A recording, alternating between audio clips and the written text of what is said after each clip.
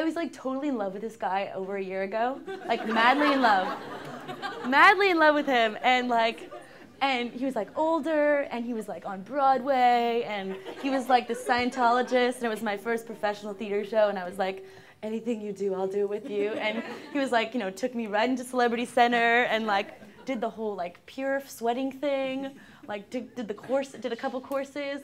I was like in it, but uh, the whole time I was like, I don't know if this is really for me. I like spent three weeks in a sauna, four hours a day, like.